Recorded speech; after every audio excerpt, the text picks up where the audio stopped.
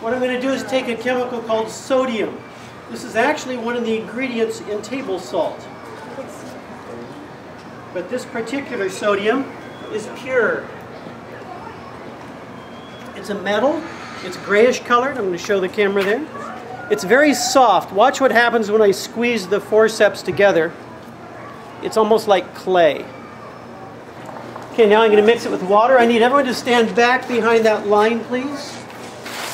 Goggles should be on. Has anybody, everybody got goggles on? Okay, here we go.